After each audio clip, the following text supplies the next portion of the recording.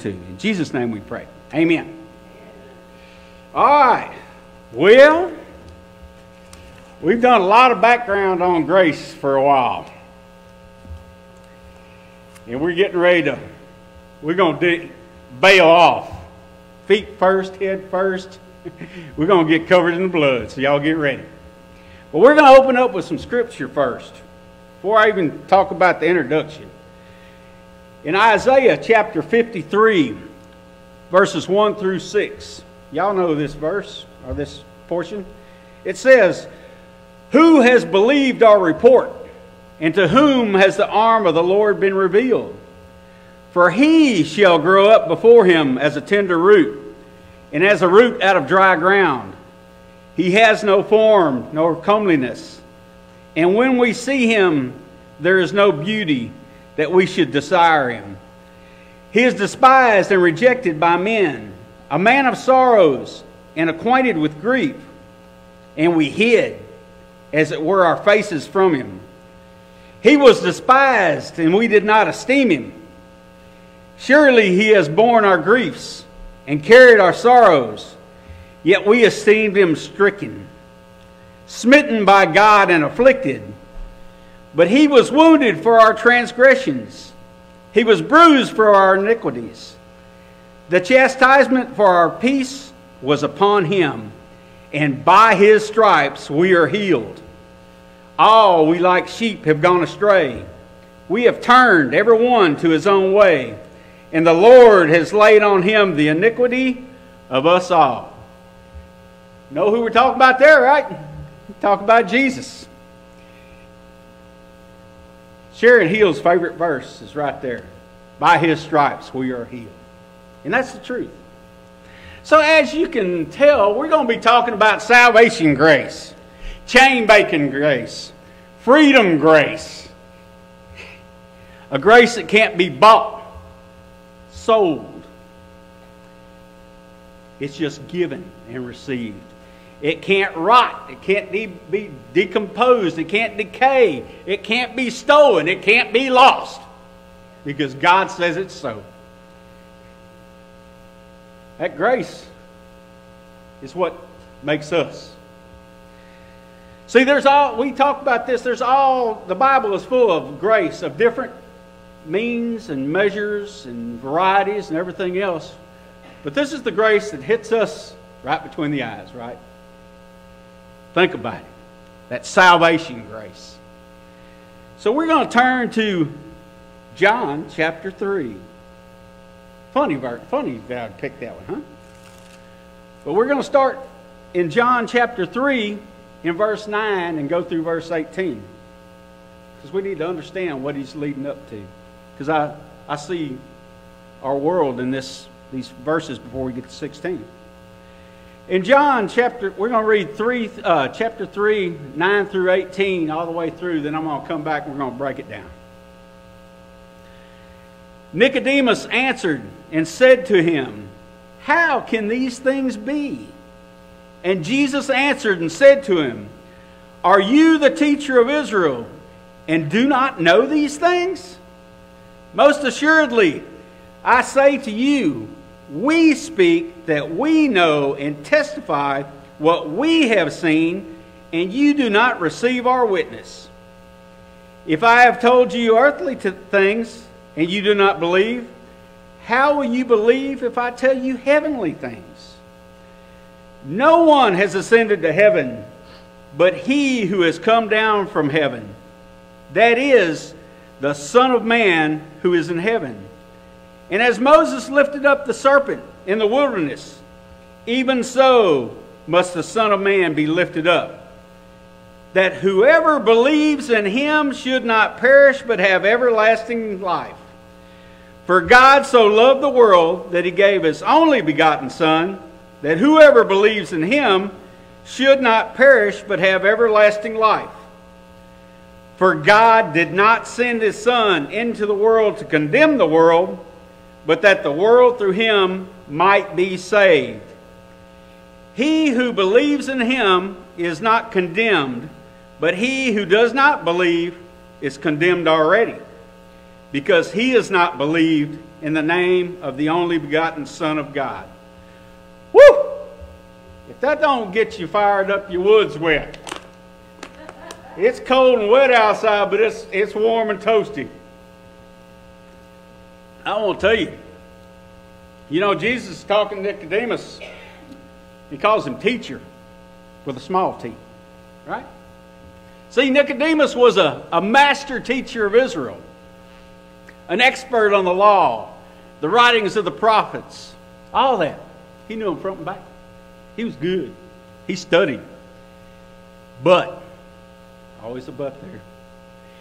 He didn't recognize the teaching on spiritual cleansing and transformation based on Scripture. Right back to Isaiah, right?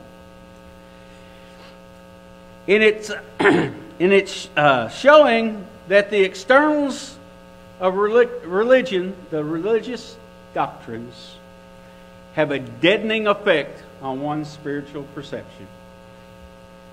Doesn't matter if you're sprinkled, dipped, or dunked, right? A lot of people can't fathom that. Doesn't matter if you sing four hymns or three hymns, does it? People let the things get in the way of the truth that believe. and he, then he goes on to tell Nicodemus again, You do not receive our witness. You. That's a plural. He's referring to Nicodemus as the representative of the whole nation of Israel and indicating the unbelief that was typical of the whole nation. But think about it when he says, You do not receive our witness. That's a capital O. The three the Father, the Son, the Holy Spirit. All of them have been at work since before Genesis 1 was even thought of, right? They're all there in the creation. They're all there pointing. They're all there guiding. And they don't see it. In John chapter 8, verses 13 through 19. John chapter 8, verses 13 through 19. Make sure I got that. It says, The Pharisees therefore said to him, You bear witness of yourself but your witness is not true. Jesus answered and said to them, Even if I bear witness of myself, my witness is true, for I know where I came from and where I am going. But you do not know where I come from and where I am going. You judge according to the flesh, I judge no one. And yet I do judge, my judgment is true, for I am not alone but I am with the Father who sent me. It is also written in your law that the testimony of two men is true. I am the one who bears witness of myself, and the Father who sent me bears witness of me. See, once again, they just can't fathom it. Whole new lifestyle. Then he talks about earthly things and heavenly things whatever miracle he performed or whatever he said, they didn't believe him, right? They were always finding something wrong. There's no way. They called him, well, he's casting out demons in the name of Beelzebub, calling him the devil, right? Little did they know. And it tells about that in Revelation 1 7. Revel- chapter 1 of Revelation, verse 7 says, Behold, he is coming with clouds, and every eye will see him, even those who pierced him. And all the tribes of the earth will mourn because of him, even so, amen. Every eye. You know, that's not just talking about living eyes, right? That's talking about every eye that was ever created that walked this earth. Makes you wonder what's going on in our, in our just our country today. Not talking about the uh, world, just in our country today. how many eyes are focused on the Lord than sitting at home wringing their hands? Oh, I wonder how much more gas is going to go up. I wonder what the president's going to do this time. It doesn't matter who's in control. God is. He's the one that allowed it. We just have to have that blind faith that He's going to handle it. And then he says, No one has ascended to heaven. Hmm. See, this verse contradicts other religious claims to have special revelation from God. We're the chosen ones, only God talks to us. Kind of sounds like the Pharisees, right? We're Abraham's children. That's on the law. I'm, go- I'm, going to, I'm going to heaven because my father was Abraham 350 years ago, right? No, don't work that way. Don't work that way. But the truth is that Jesus states is that no one but him has ascended to heaven in, in such as to return and talk about heavenly things. Only he had permanent residence in heaven prior to his incarnation. And therefore, finger stick down. Only he has the true knowledge regarding heavenly things. I want you to think about something. How many have lived in their house more than 20 years? Okay. You know your house inside and out, right? You know when something's out of place and when it's not. You know what's going to happen when you flip this light switch on, that light switch on. Jesus knows heaven backwards and forwards, right? That was his home until he came to reside on earth for who? Us. So the Pharisees are telling him, You don't know anything about what's going on up there. Really? Been living there before I built the earth, buddy. You know, but it's that mind state that you can't, they can't fathom. Let's go to uh, Proverbs chapter 30, verse 4. Proverbs chapter 30, verse 4.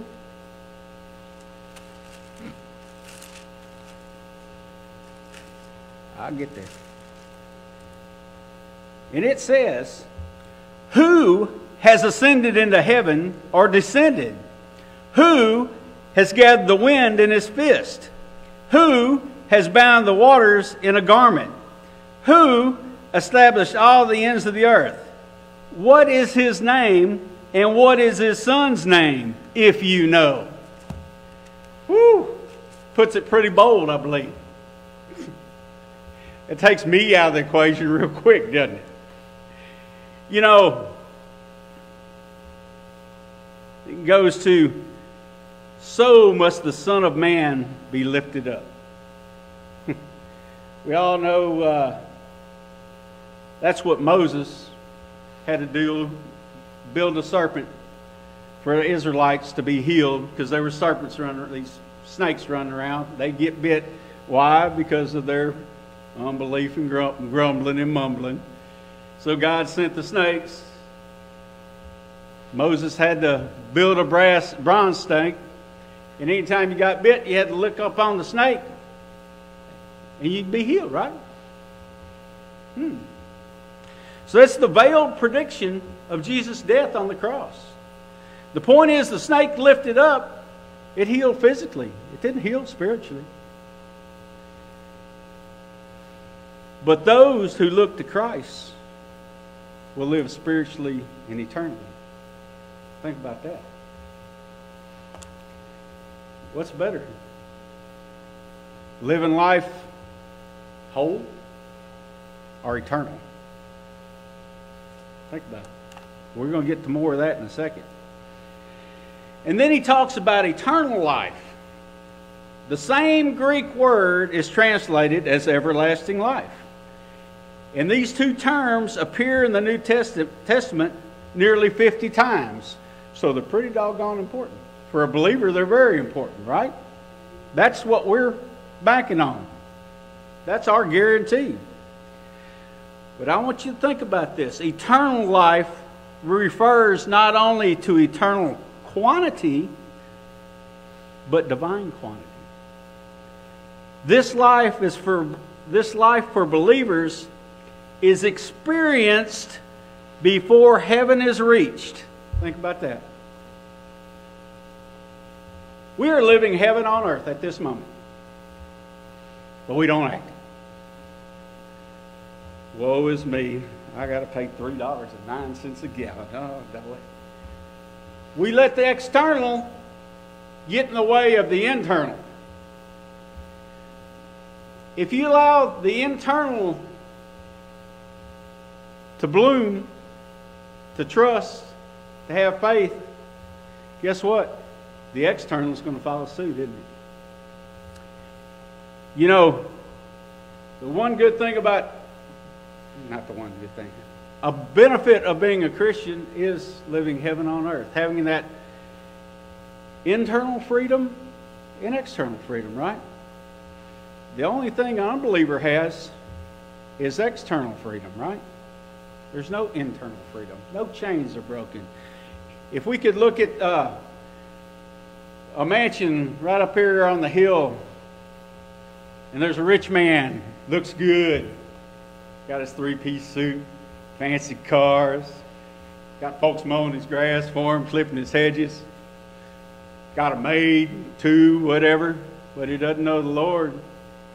Inside, you'd see a broken, crippled, poor man.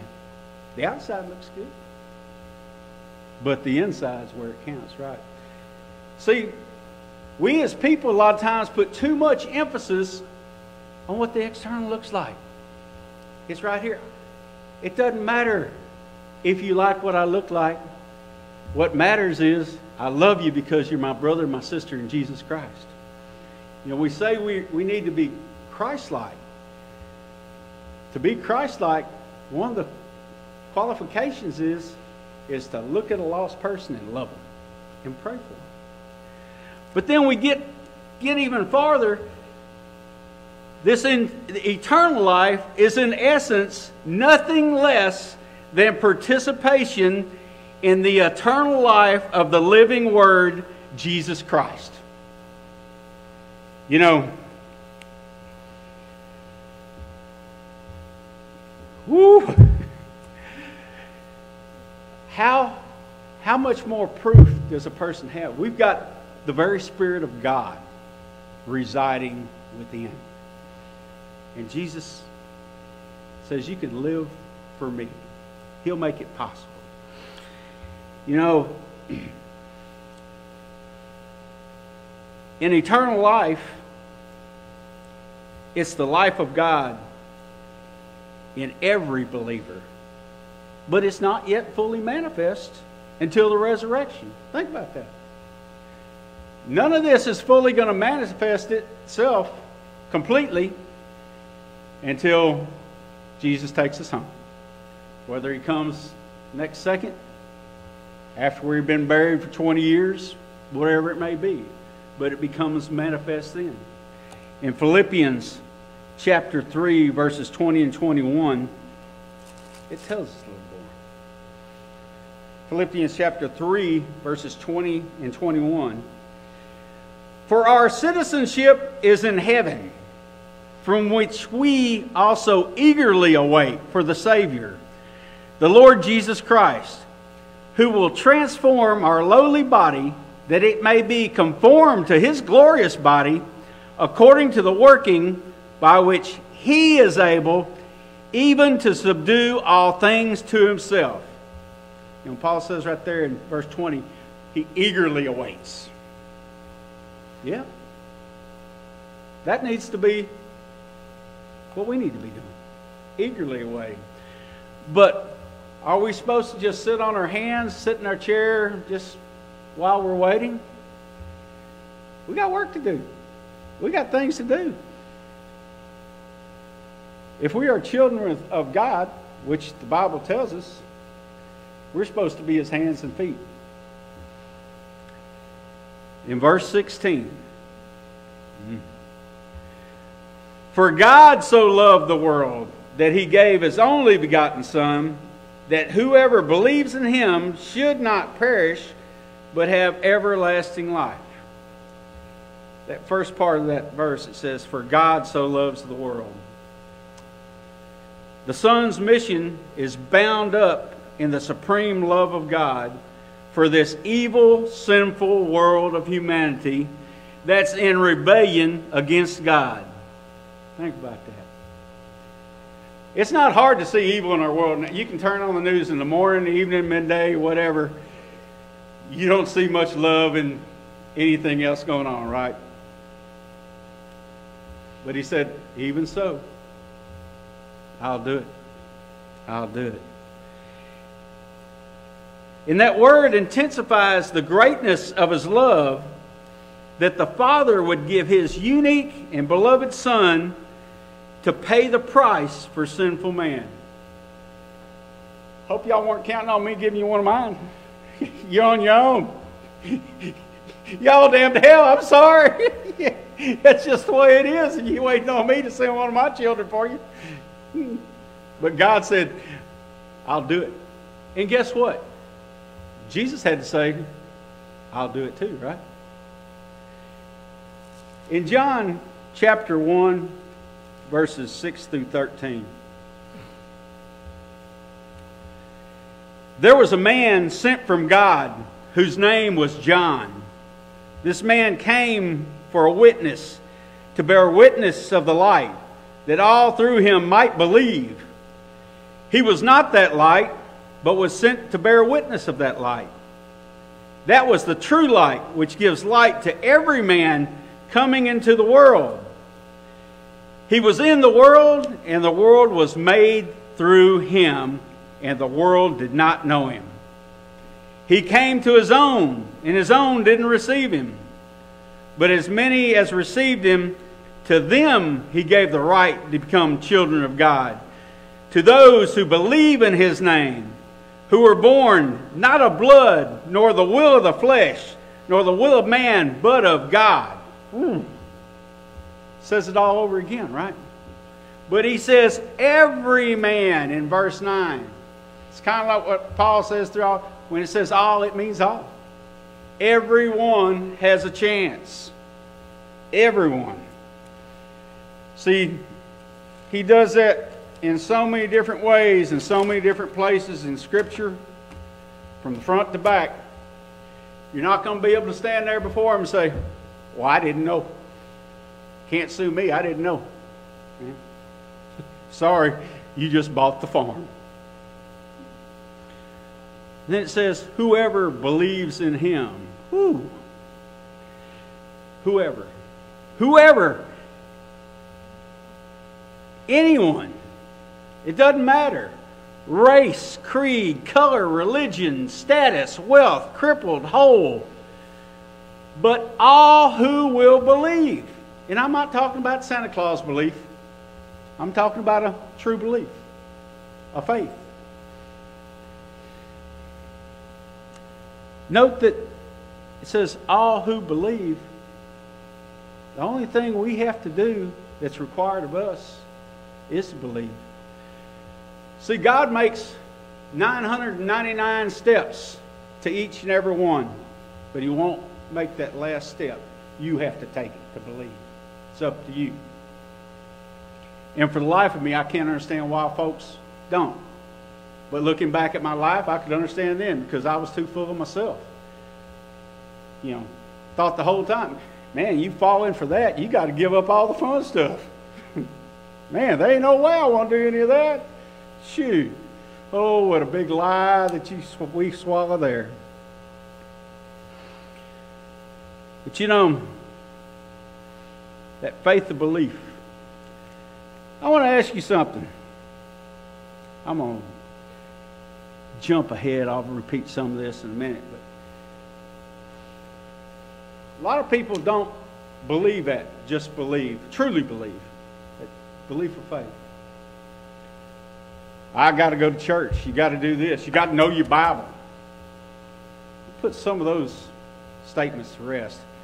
You know, I know a guy that can recite the Bible front and back, pick a scripture out of the air for any anything you want.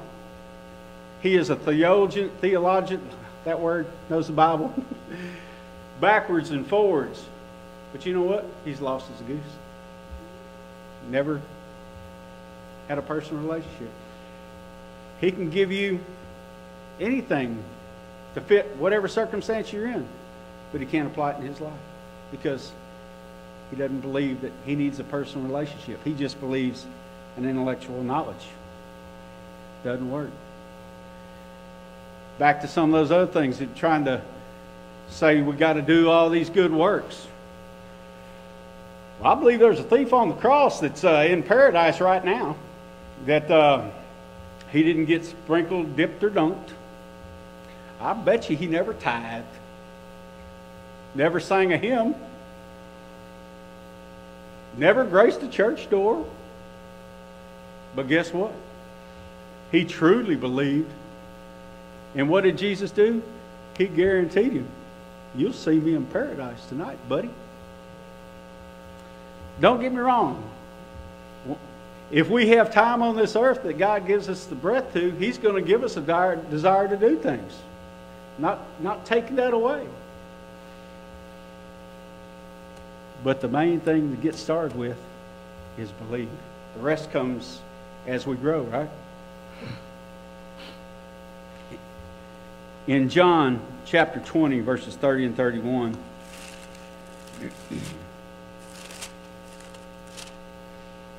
John chapter 20, verses 30 and 31, it tells us. And truly, Jesus did many other signs in the presence of his disciples, which are not written in this book. But these are written that you may believe that Jesus is the Christ, the Son of God, and that believing you may have life in his name. Right there. This book was written, Brother Jim calls it God's love letter to us, which is true. It's to draw us, to convict us, to bring us to Jesus Christ, whatever the circumstance may be. And then he talks about, you shall not perish. That's the promise. Just like we were talking about the thief on the cross had no time for repentance or anything. Think about it.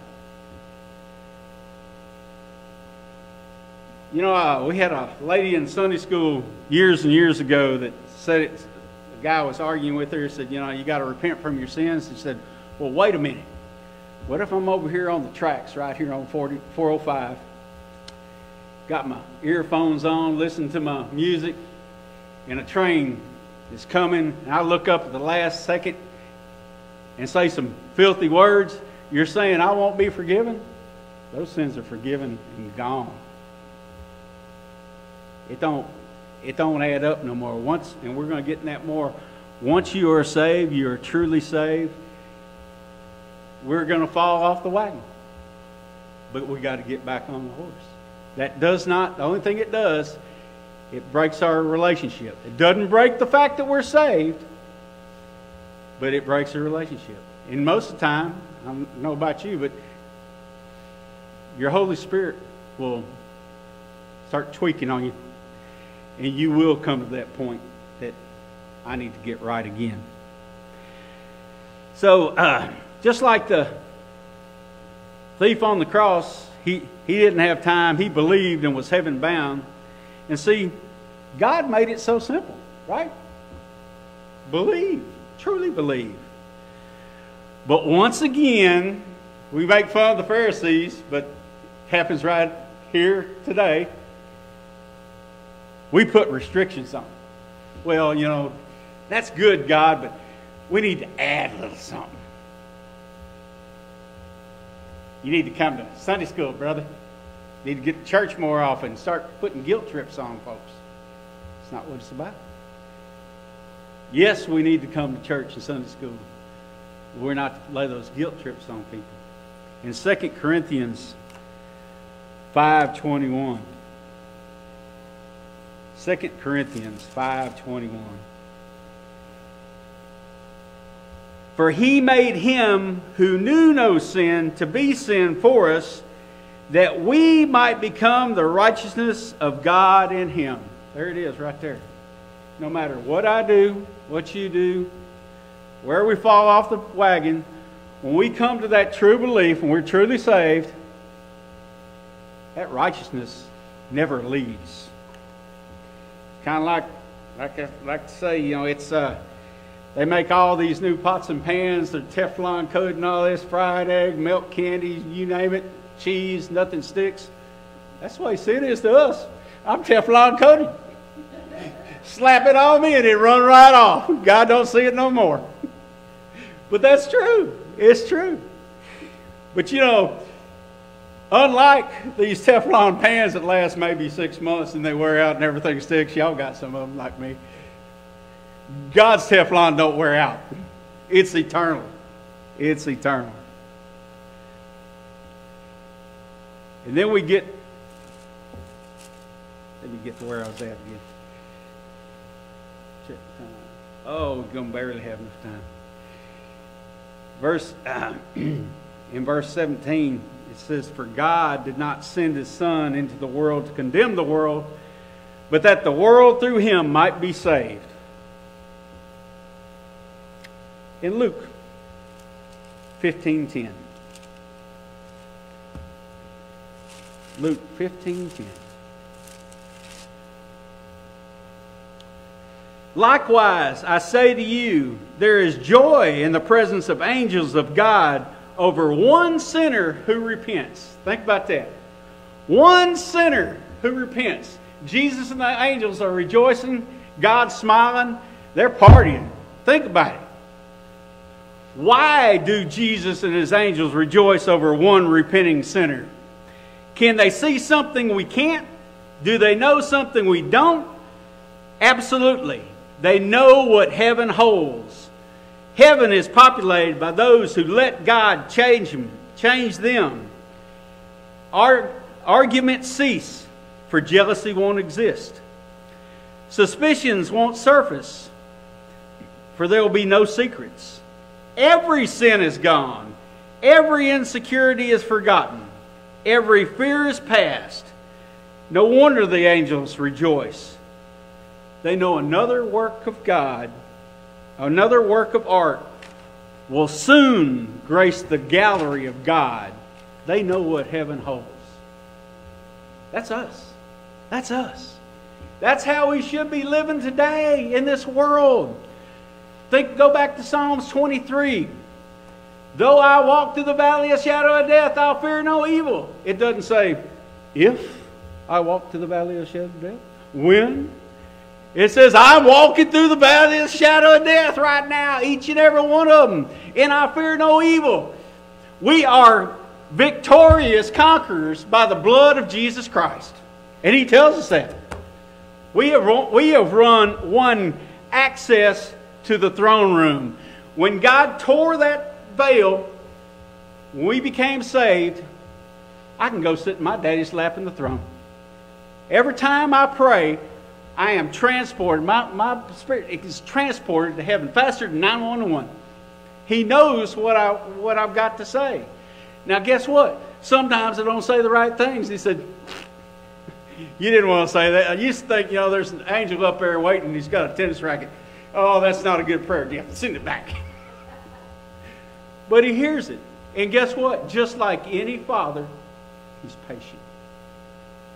Because face it, as we all have raised children and we're children ourselves, as your kids learn to walk and talk, there's a two year olds are hard to understand, right? You have to, huh, huh, huh. Well, God doesn't have to huh us, but He has to prompt us a little bit. Same way when, you, when you're walking, when that little child first starts getting up, holding on the coffee table, wiggling and getting us down and all that and starts making those few steps across the living room, and thank goodness for diapered butts. we, we're up there, we're getting them, we're coaxing along. That's how patient God is with us. That's how much He loves us. And Jesus the same way. Think about what Jesus prayed as he was hanging on the cross. Forgive them, Father. Think about that when he had every right to say, damn them all to hell. Think about it.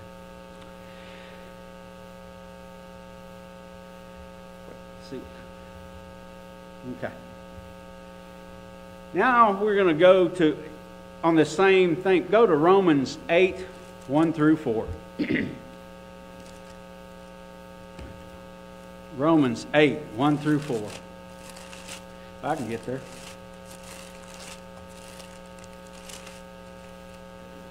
Romans 8, 1 through 4. Y'all know this.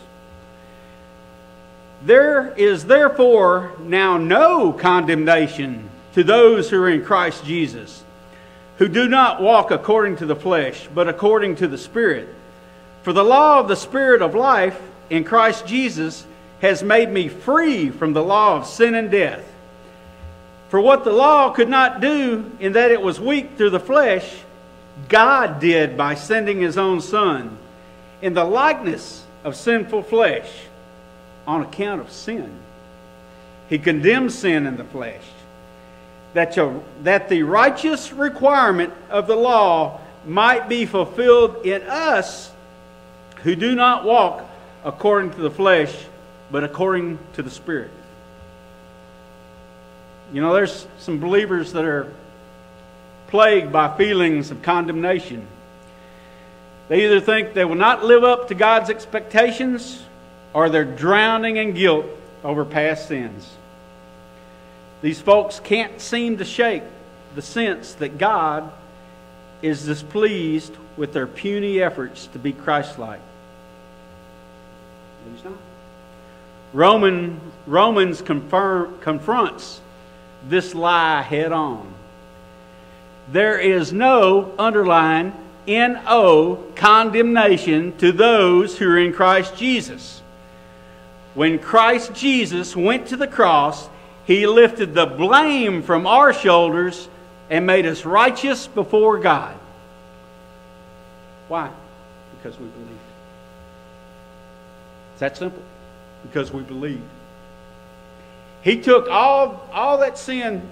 Brother Jim's brother John, years ago, when we were preaching at the tent revival, said, You know, it really got to him and it broke my heart when he gave this analogy. He said, Jesus Christ took that cup with all my sins and he looked in it and saw my sins and said, I'll do it even for you.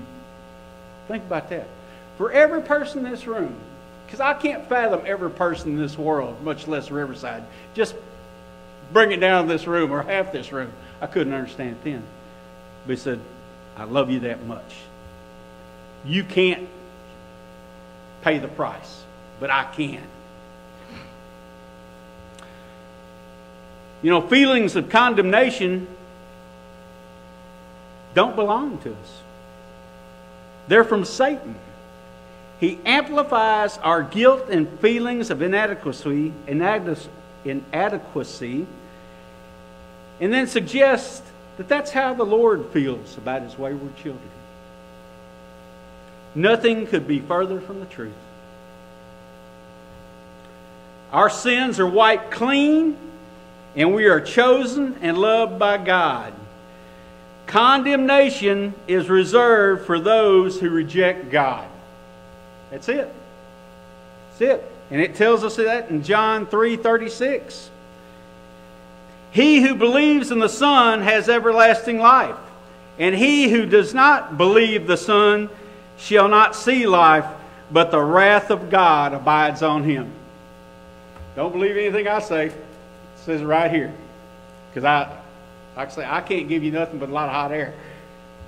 But God can, can give you the reality. But isn't that the truth? You know, we'll be bebopping along here doing fine, and all of a sudden we get that feeling, oh my God, you remember what I did back then? Or yesterday, or even today. And boy, that it's kind of like that butter commercial we used to have, the little red devil and the white angel. That devil starts overpowering that angel. You start believing what he says. Well, maybe that is how God feels about me. that's farther from the truth you'd ever be. That's just Satan. He can't get us, he can't steal us, he can't kill us unless God allows him to kill us. But he can sure put a lot of insecurity and doubt in our life.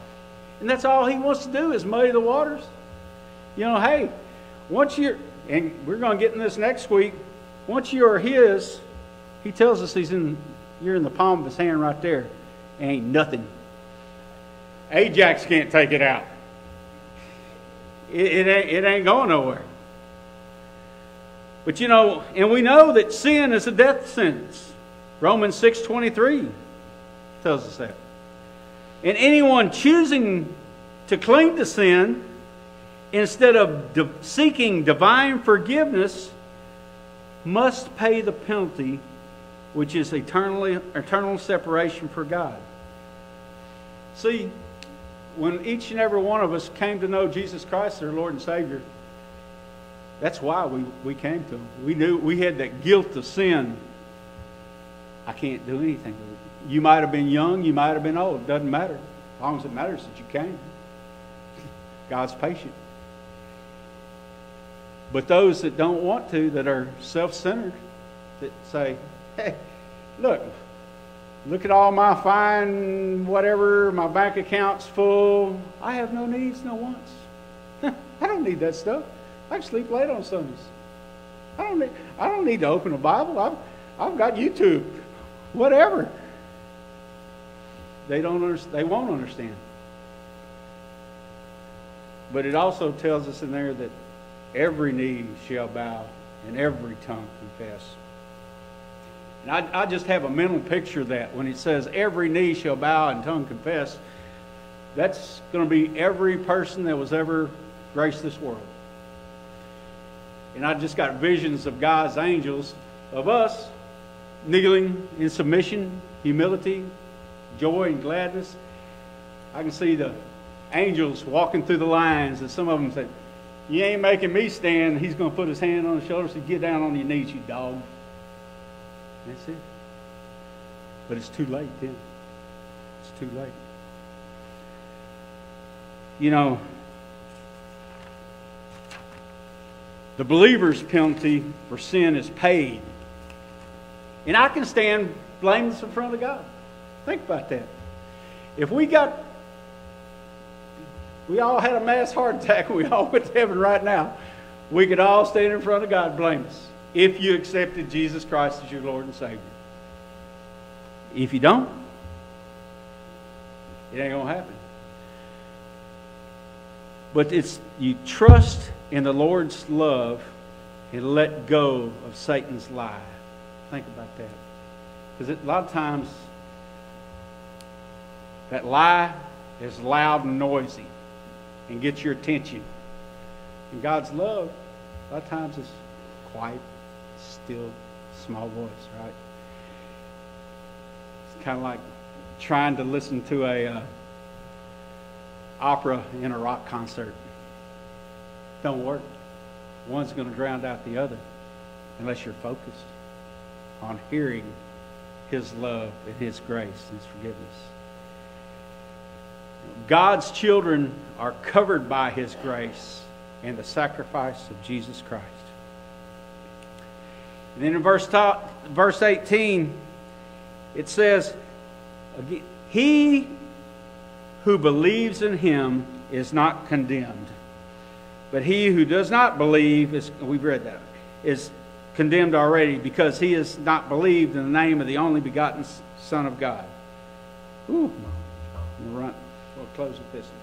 Believe in him. This phrase means more than just an intellectual knowledge to the claims of the gospel. It includes trust and commitment to Christ the Lord.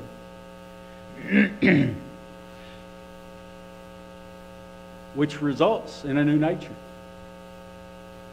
So you're looking at a new man, and I'm looking at a lot of new men and women out there. Because the old man wasn't, wasn't nothing to look at, I can promise you. But by God's salvation, the new man is born. And a lot of times, I got, as just being folks. A lot of times we like to go back and try to put on our old clothes, don't we? That's okay. God's patient. And He's forgiving. And He takes care of it.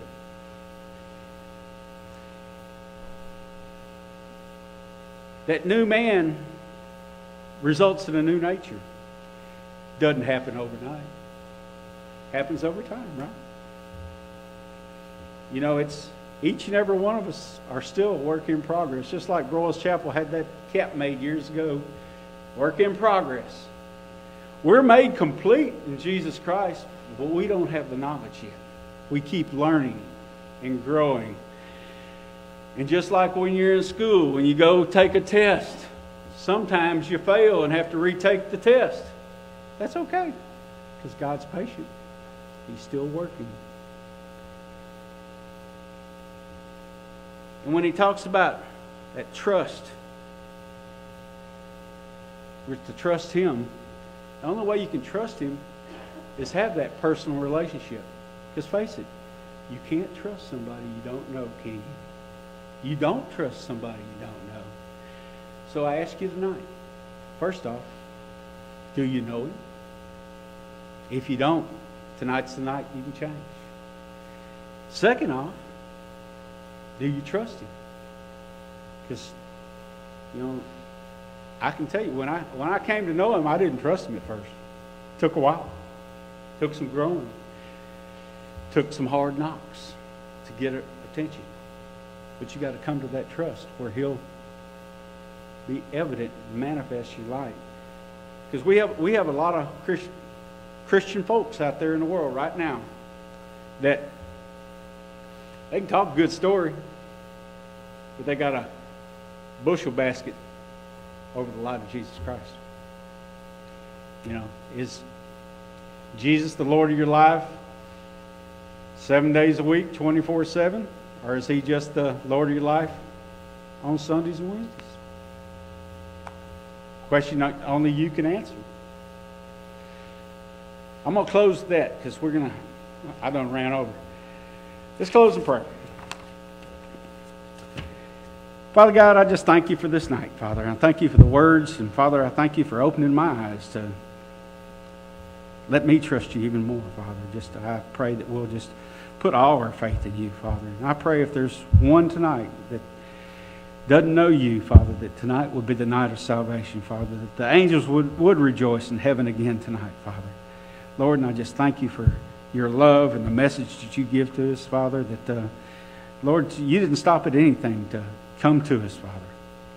I just pray as we leave here tonight that you just bless us and uh, just open our eyes to you and everything around us, Father. And let us show your love to somebody that we don't know, and just, they can just see your light shining through us. In Jesus' name I pray. Amen.